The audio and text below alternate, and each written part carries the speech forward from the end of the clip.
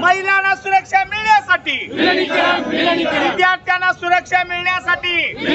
विद्यार्थिनींना सुरक्षा मिळण्यासाठी. विद्यार्थिनींना सुरक्षा मिळण्यासाठी. कामगार एकजुटीचा कामगार एकजुटीचा एसटीचे राज्य शासनात विलिनीकरण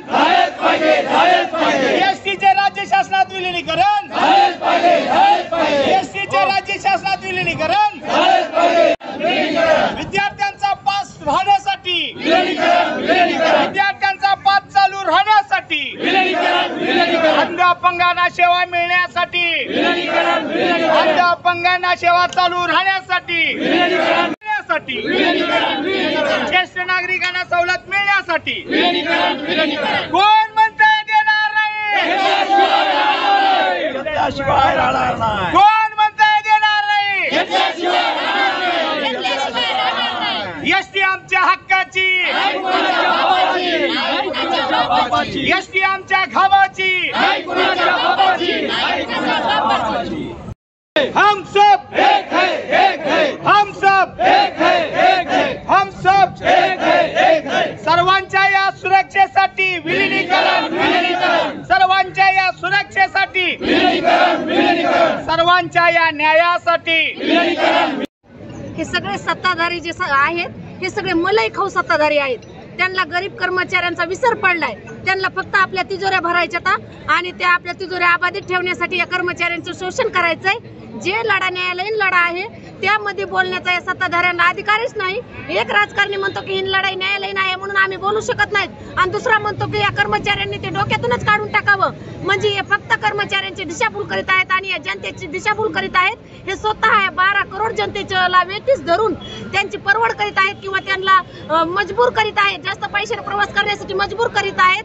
तरी त्यांना याची काहीही जाण राहिलेली नाही. आणि फक्त ते त्यांना स्वतःचं आपलं पद कसं टिकून राहील आणि आपल्या हातामध्ये सत्ता कशी राहील एवढंच त्यांना राहिलेलं आहे. बाकी त्यांना दुसरा कोणत्याही गोरगरीब जनतेचा किंवा इथले जे कर्मचारी आहेत आमच्या ऊन पावसामध्ये किंवा त्यांना काही आहे का नाही जेवायला दोन वेळचं जेवण किंवा ऊन वारा पाऊस हे कसे राहत असतील कसे नाही यांची त्यांना काहीही गरज राहिलेली नाही. आणि विरोधी पक्ष नेत्यांचं पण कसं आहे विरोधी पक्ष नेत्यांना पण नाही का वि- समोरच्याला दुखवायचं नाही म्हणजे उद्या ते पार्टीमध्ये आल्याच्यानंतर पण त्यांनी आम्हाला साथ द्यावी असं आम्ही कळकळीचं आवाहन करतो.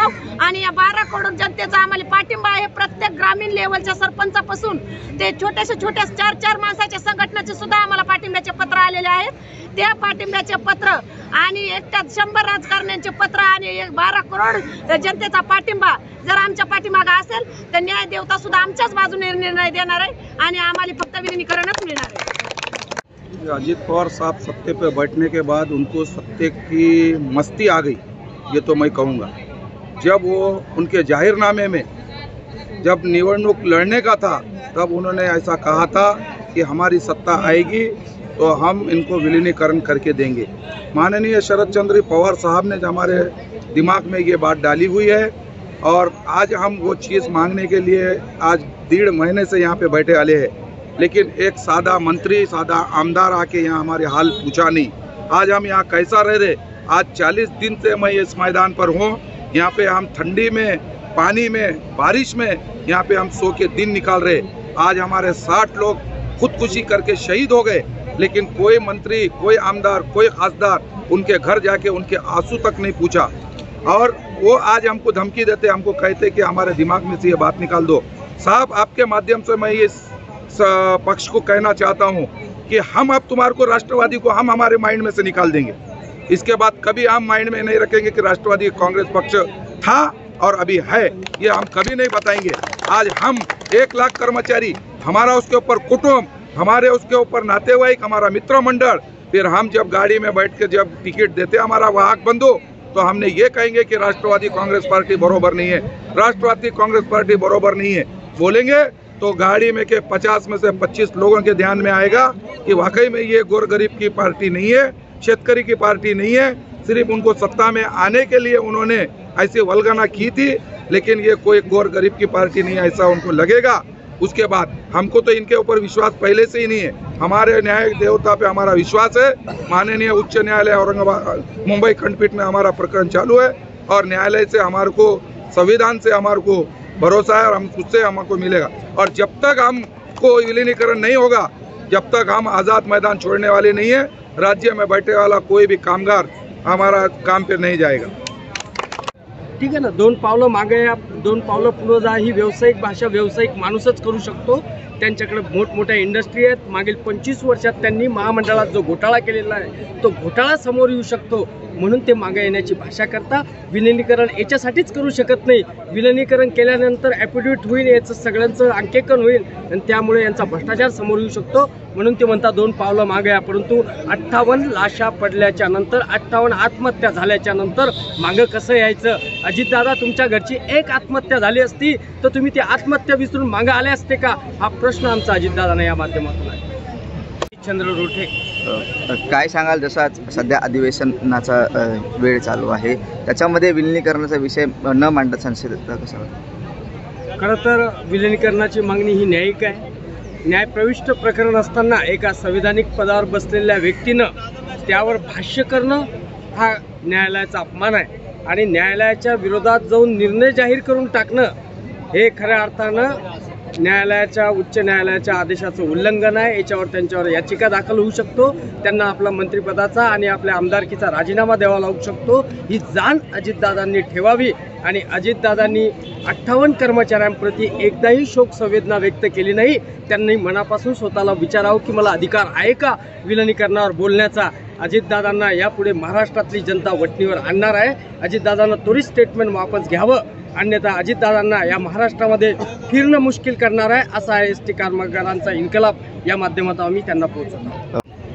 उपमुख्यमंत्री साहेब अजितदादा पवार साहेब यांचं विधानभवनात जे वक्तव्य केलं आहे काल ते संविधानाची पायमल्ली करून त्यांनी वक्तव्य केलेलं आहे. त्याबद्दल आमच्या ब्याण्णव कर्मचाऱ्यातर्फे जाहीर निषेध करतो.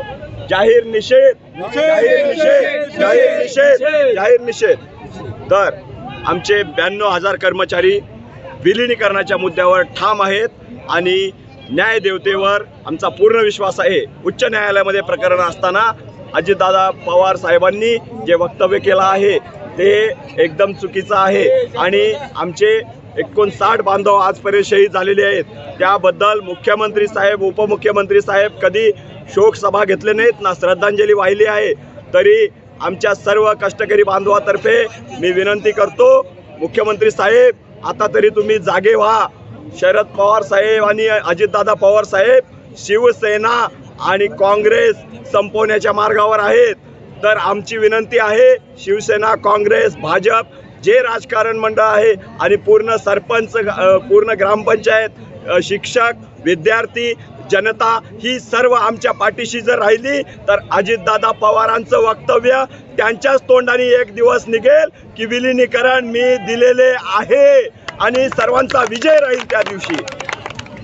करण्याचा कसा विषय असावा असा यासाठी आपण संविधानाच्या नियमाप्रमाणे आपण हायकोर्टाला साडेतीनशे पानांचा अहवाल सादर केलेला आहे. ते माननीय गुणरत्न सदावर्ते साहेब आमचे जे देवरूपानं आमच्याबरोबर या ठिकाणी आमच्या या एस टी कर्मचाऱ्यांसाठी झगडतात.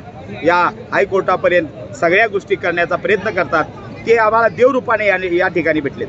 त्यांनी साडेतीनशे पानाचा अहवाल या ठिकाणी सादर केलेला आहे कोर्टाला. आणि त्या अहवालामध्ये आंध्र प्रदेश आमच्या राज्याला लागून असणारा आंध्र प्रदेश आमच्या राज्याला लागून असणारं तेलंगण यांच्या ज्या काय महामंडळं होती त्यांनी विलिनीकरण कुठल्या धर्तीवर केलं याचा सखोल माहिती किंवा प्रबळ माहिती ही कोर्टाला सादर केलेली आहे. म्हणून आमचा न्यायदेव व्यवस्थेवर आणि न्यायदेवतेवर निश्चितपणानं आमचा विश्वास आहे.